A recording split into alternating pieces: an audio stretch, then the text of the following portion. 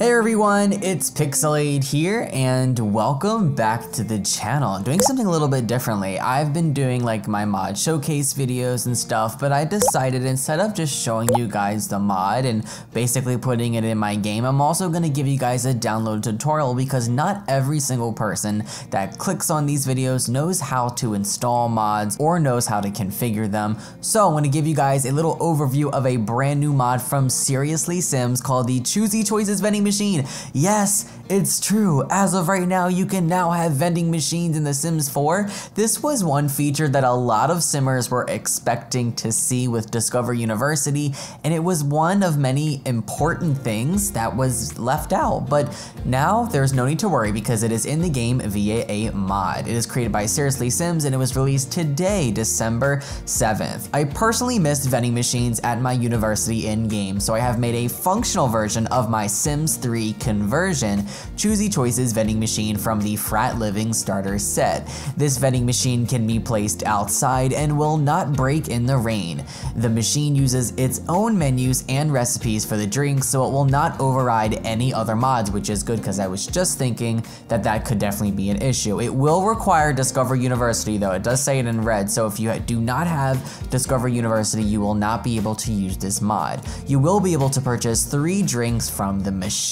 Those include canned water, canned juices, and off-brand soda, starting at one simoleon, then two simoleons, and for a maximum price of three simoleons. I see that they have off-brand soda. I wonder if they have actual soda. Also, I want to know if other modders can basically add mods to work with this mod. For example, I know that some modders are gonna wanna make like real soda to be in here. So you can have your Sims buy like Coca-Cola, Pepsi, Sprite, Sierra Mist, Mountain Dew, all that stuff. That would be really cool if that was actually a thing. Cause then we would get more than just canned water. Like there would be Aquafina, there could be Deer Park, Fiji water, all that stuff. That would be really nice. So there are three links here you can download via Sim File Share, download via Mega, or download from Patreon. I'm gonna download from sim file share. So once you click that, of course, it's going to open a new window where you can then download the file. So once you're on sim file share, all you have to do is click the download button and voila, it's gonna download it to your downloads folder. And I'm gonna come out of full screen mode and I'm gonna show you guys exactly where it's gonna download. It's gonna go into your downloads. What you're gonna do is you're going to go to my computer, you're gonna go to this PC and then your downloads and it will appear in this folder. Once it downloads, it's gonna be right here in your downloads folder and it is going to be a package file. So now you will open another window, gonna go to this PC, and instead of download, you're gonna go into your documents folder. Once you're here, you're going to look for electronic arts, you're going to go to The Sims 4, going to open up your mods folder, and then this is where you're going to place the package. Now, I keep my mods organized, so I create like little subfolders and stuff, so I put them inside of them.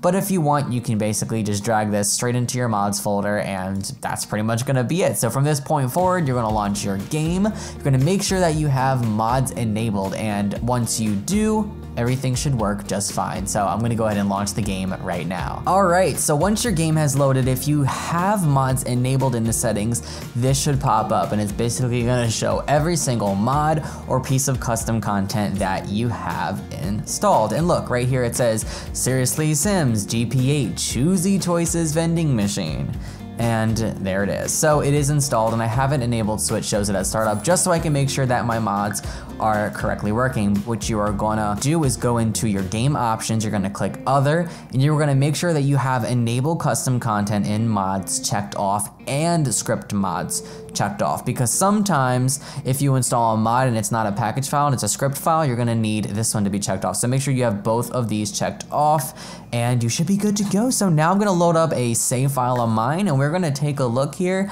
and see what this is all about. I'm gonna load up my Discover University LP family. My sim in this save file is currently homeless, but we can still place the vending machine outside. Alrighty you guys, so we are now loaded up in the save file. I don't know exactly where this vending machine is located in the catalog, and I'm not going to even try to find out. I'm going to take off the off-the-grid lot trait because that's currently enabled, and the vending machine might not even be able to be used with that lot trait. So we're going to turn that off. I'm going to go back into build buy mode, and in the search bar, I'm just going to type in vending machine, and I can bet you it will pop up right away. Yep, there it is. It is 500 simoleons, Sims 3 to Sims 4 conversion by Seriously Sims Discover University functional version. So food quality is 3, reliability is 3, and plus cooking skill. Now, in order to buy it, I'm gonna need 500 simoleons. So I'm going to cheat my money to 500 simoleons. There are three different variations of it that you can place. I'm gonna show you guys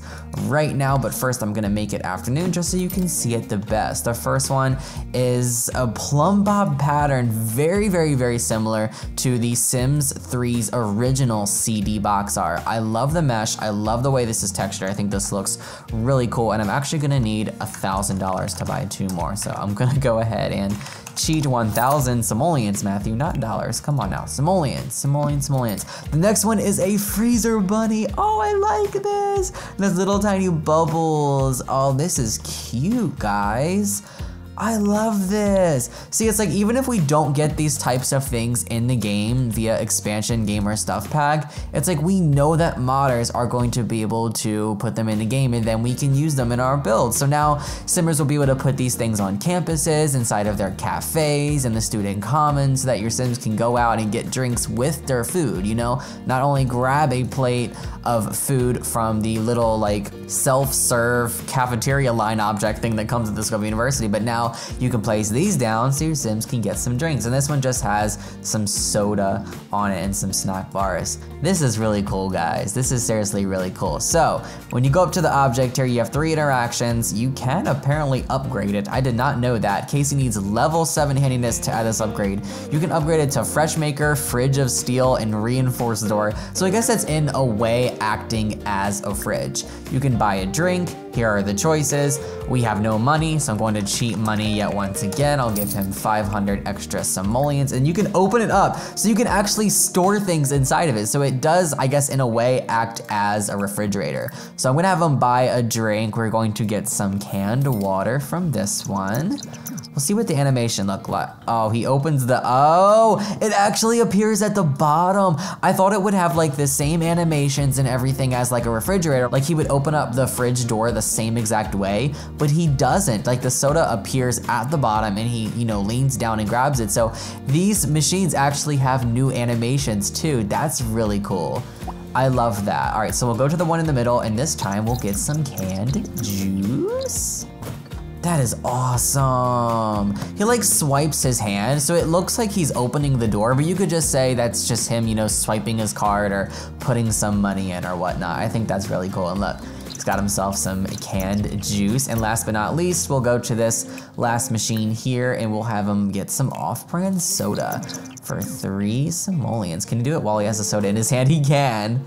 So now he's got two drinks. He's got juice in his right hand, normal quality, and off-brand soda in his left hand. That is really freaking cool, guys. Wow. I will have a link to this pinned in the comment section below if you would like to download it.